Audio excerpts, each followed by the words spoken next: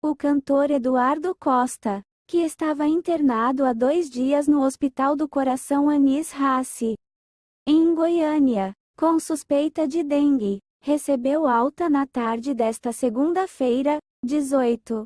De acordo com a assessoria de imprensa do músico, ele já está em casa e passa bem.